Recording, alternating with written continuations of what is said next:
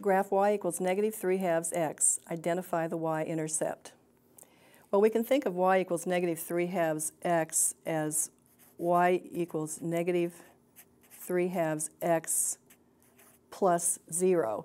This equation is written in the form y equals mx plus b, and that tells us then that the y-intercept is 0, 0, that 0 is the second coordinate of the y-intercept.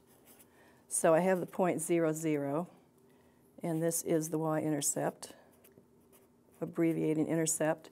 Now let's find two other points on the line, and then we can draw the graph. Let's let x be negative 2. I'm choosing multiples of 2 because I have a fraction here, and so I, I, it will simplify nicely when I make the substitution.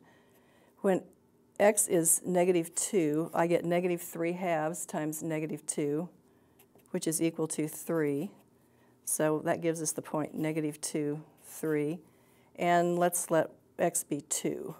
When x is 2, I have negative 3 halves times 2, which is equal to negative 3. So that gives me a third point, 2, negative 3. Now let's plot these points. We have 0, 0. We have negative 2, 3, and we have 2, negative 3. And we'll draw the line that contains those three points. And we'll label it with the equation y equals negative 3 halves x.